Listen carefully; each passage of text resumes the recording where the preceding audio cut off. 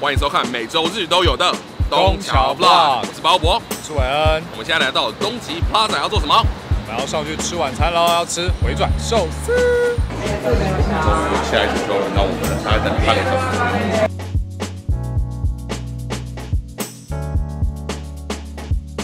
寿司大餐上菜喽！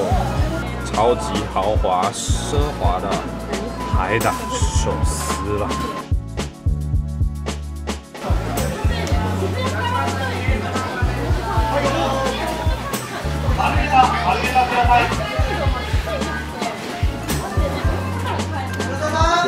罐头海胆的腥味，整个海味十足。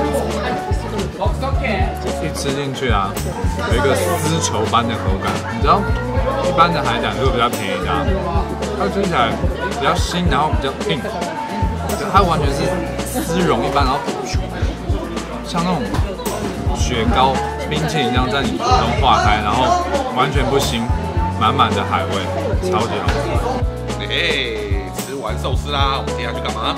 喝饮料，我们又来到曾经赞助过我们一集的 Emporio Armani，上次还讲成 JoJo。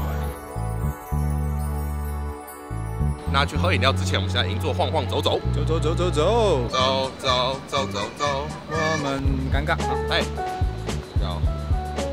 那我们走斜巷子比较容易的。好的。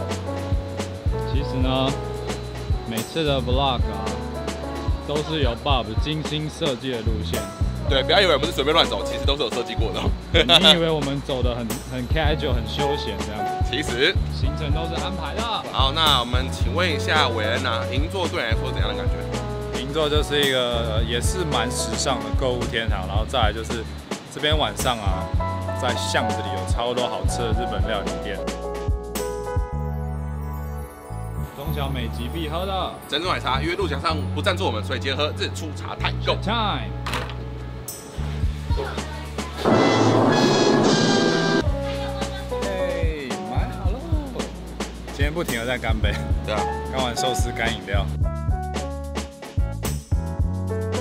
那我们银座逛完啦，现在去日比谷新开的 Tokyo Midtown Hibiya，接下来的高架桥下有看起来非常非常道地的日式居酒屋在两旁哦。看起来就好想吃哦。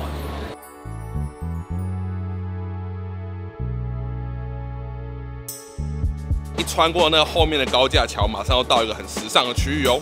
就到了 Tokyo Midtown Hibiya 喽，什么东西？哥吉拉。我们要带大家上去看。最近发现的看夜景的私房景点，前往看夜景的高台中。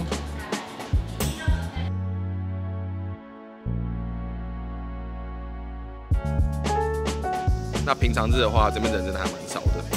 因为这边是二零一八年新开幕的，所以还是有点小秘境的感觉哦。